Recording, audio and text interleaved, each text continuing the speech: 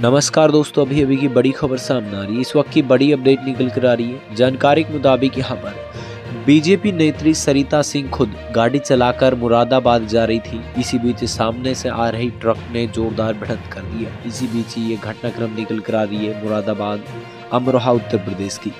अमरोहा से भाजपा नेत्री सरिता सिंह खुद अपनी कार ड्राइव कर रही थी। इसी दौरान ट्रक ने जोरदार भिड़ंत कर दिया और इसी दौरान मौके पर कार में आग लग गई।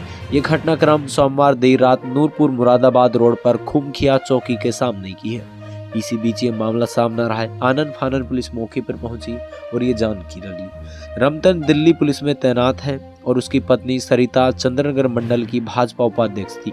जो देर शाम मुरादाबाद से अपने घर जा रही थी। कार से खुद अकेली ड्राइव कर रही थी, लेकिन कार ट्रक ने जोरदार भिड़ंत किया। इस दौरान ये मामला सामना रहा है। पुलिस मौके पर पहुंचकर आगे की कार्रवाई में जुटी हुई है। तमाम खबरों के लिए बने रही चैनल पर लाइक, शेयर, कमेंट करें। जय हिंद।